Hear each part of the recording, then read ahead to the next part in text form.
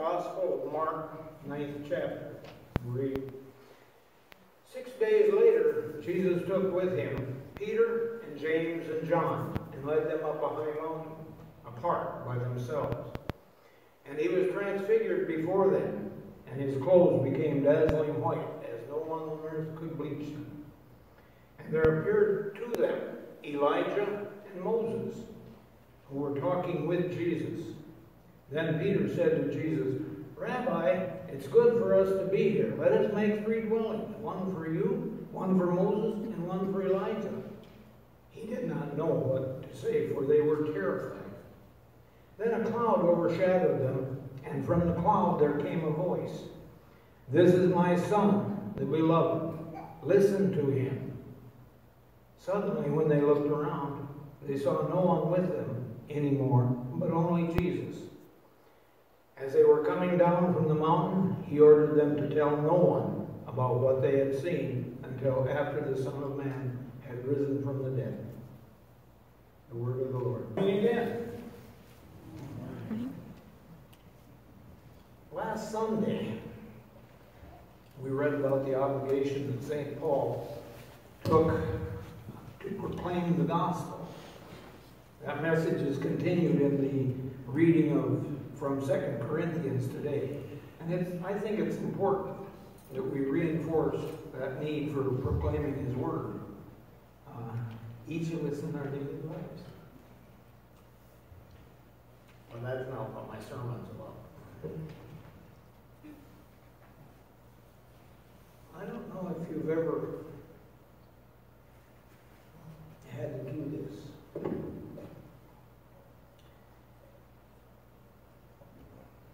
When you read about the transfiguration, when we were when we were, try it again. When we read it, what what crossed your mind?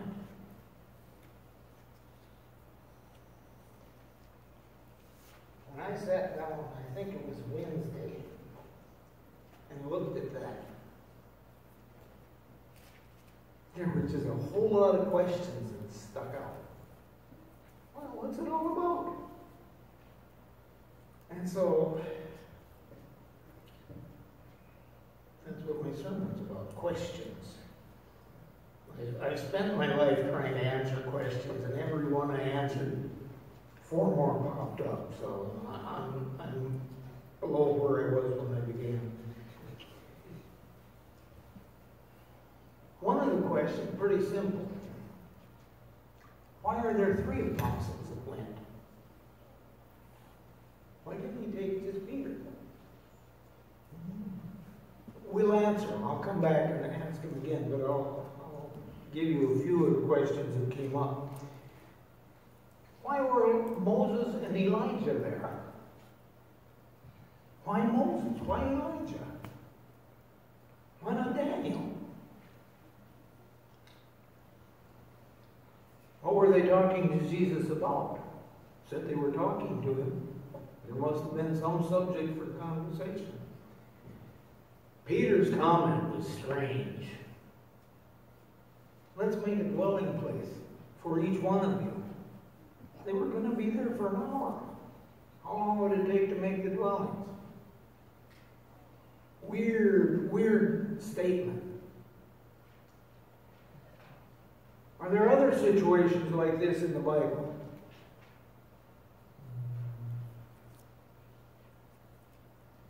The last one that I'm going to consider is what's the significance for us of the transfiguration?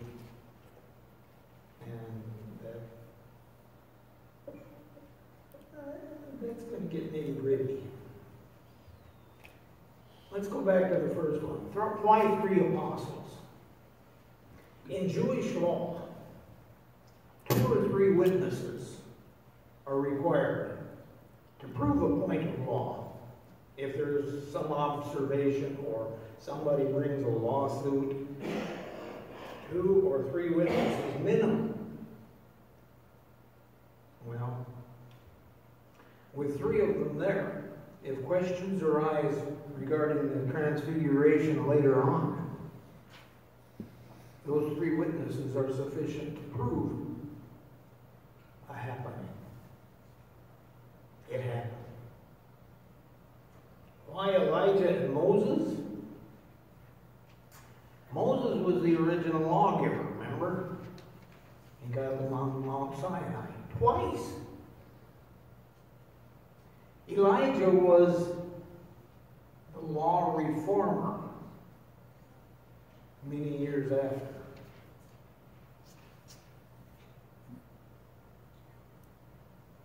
I don't know, other than that. Um, I think maybe the Father's got a hand in that, so that's his doing. Peter's comment was strange. Why? And here it says, they were terrified.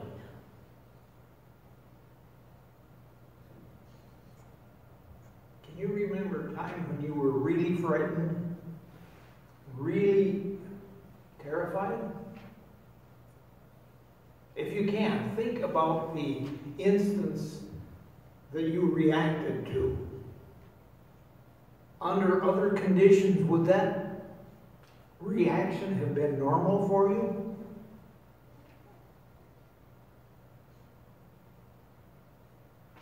I have an example for you. This was not me. Years ago, I read a newspaper article.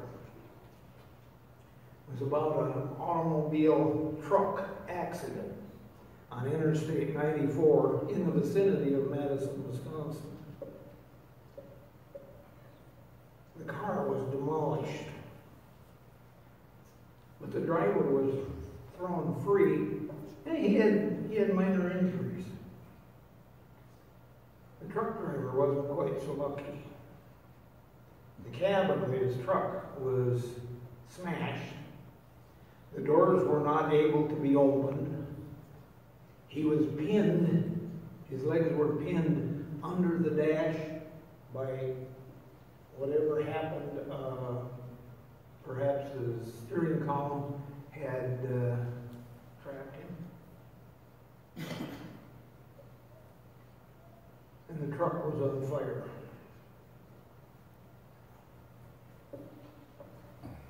He had perhaps two to three minutes if, if he was going to be rescued at all.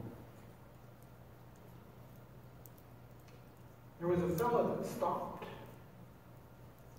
And when he saw what was occurring, he ran to the truck. Uh, this, this is the newspaper article, okay? He had no tools, but with his bare hands, he ripped one of the doors off the truck. He climbed in partially, got under the dash, and broke the steering column and hauled the driver out.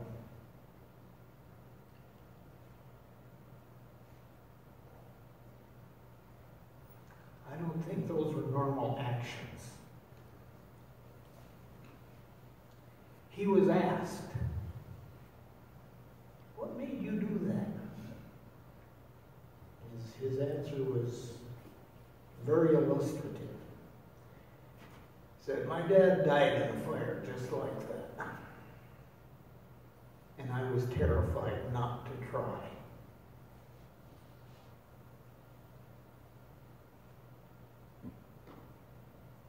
There was more than fear involved here.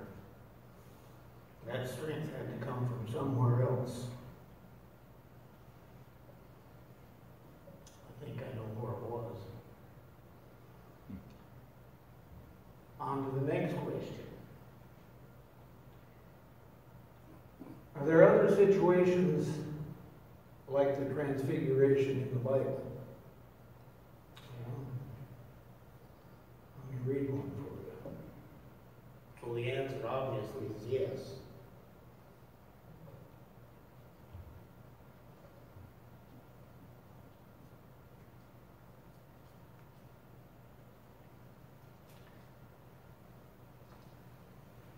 This is during the Exodus. Moses came down from Mount Sinai. As he came down from the mountain with the two tablets of the covenant in his hand, Moses did not know that the skin of his face shone because he had been talking with God. When Aaron and all the Israelites saw Moses, the skin of his face was shining, and they were afraid to come near him.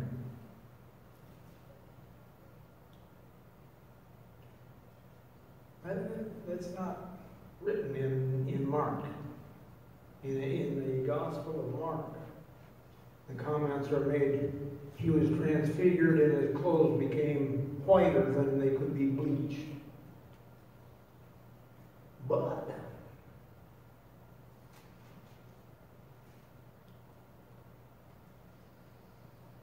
in the Gospel of Matthew,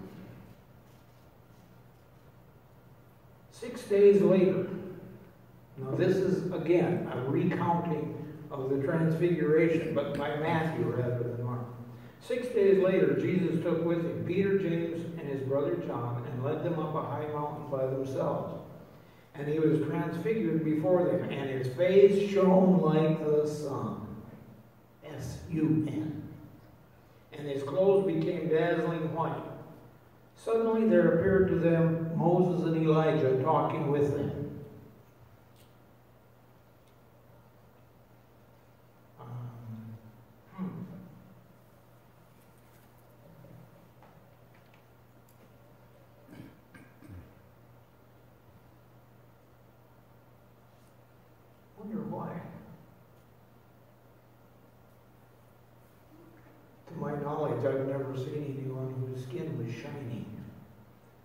Shining, not shiny. Uh, comparisons, excuse me, the comparisons are, are quite marked. Moses went up Mount Sinai. Jesus went up a high mountain. Moses received the Ten Commandments. Jesus received something from Moses and Elijah and the proclamation to the disciples that he was the Son of God. The skin on Moses' face shone brightly. The skin on Jesus' face shone like the sun. Moses experienced God in a cloud on Mount Sinai, and God spoke plainly to him from the cloud. Same thing happened at the Transfiguration. Jesus and the disciples were engulfed in a cloud. And from the cloud came a voice. And remember what it was? This is my son, the beloved. What's the next three words? Listen to him.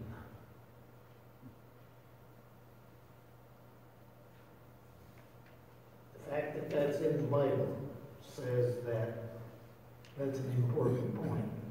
Listen. How often do we listen? You take time after prayer to listen? Prayer is not a one way, help me kind of thing. It's a conversation. So, hmm. Well,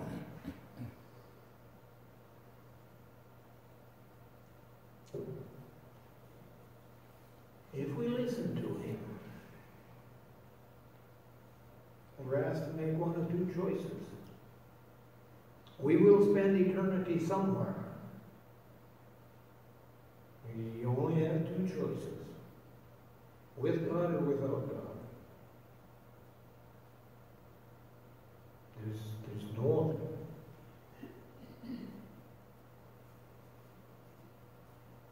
Let's listen. Choose, choose with God.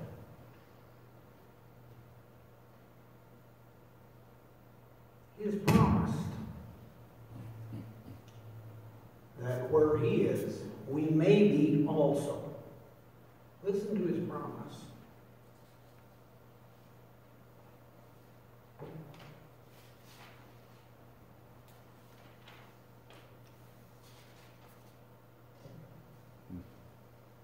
of the Gospel of John, 14th chapter, first six verses. Let not your hearts be troubled. Believe in God, believe also in me. In my Father's house there are many dwelling places. If it were not so, would I have told you that I go to prepare a place for you? Let's let's back up. Every time I read the pronoun you or your, put your own name in there. Okay? Let not your heart be troubled. Believe in God, believe also in me. In my Father's house there are many dwelling places. If it were not so, would I have told you that I go to prepare a place for you?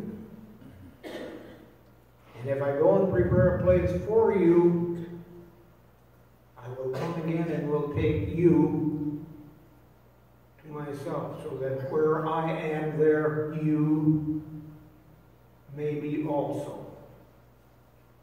And you know the way that I am going. Thomas said to him, Lord, we don't know where you're going. How can we know the way? Jesus said to him, I am the way, the truth, and the life. No one comes to the Father but by me. It's a promise